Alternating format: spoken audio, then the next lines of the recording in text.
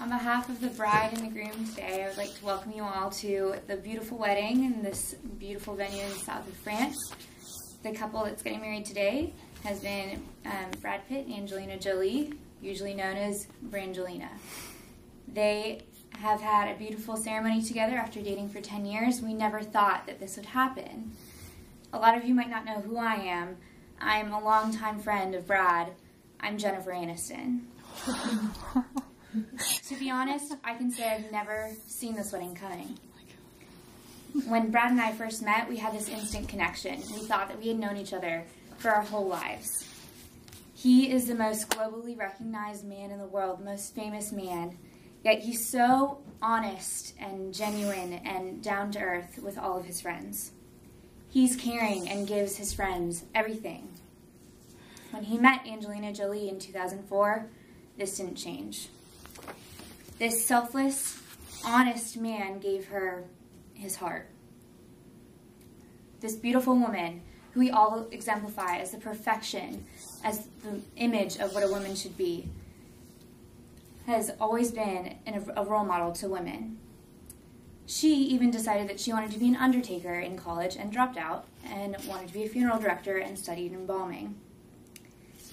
This beauty that she has has gone through many successful relationships in the past. She's known to be a wild child and very passionate about what she does.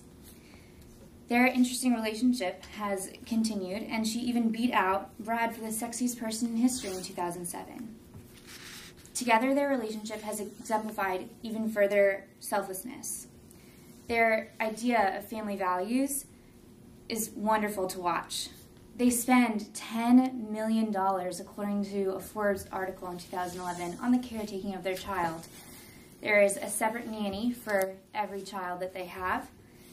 Obviously, they're spending a lot of time with their children. And they have tutors for every child as well that travel with them everywhere they go. They even decided that they love their children so much that they would sell pictures of their children for $14 million to magazines.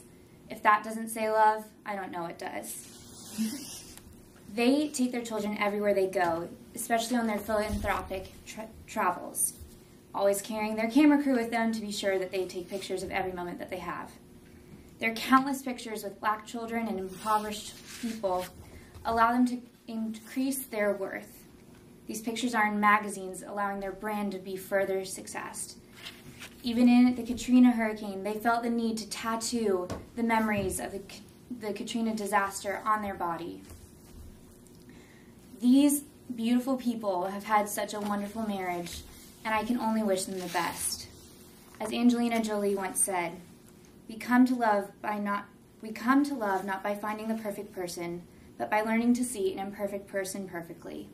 I hope that the two of you can see each other perfectly.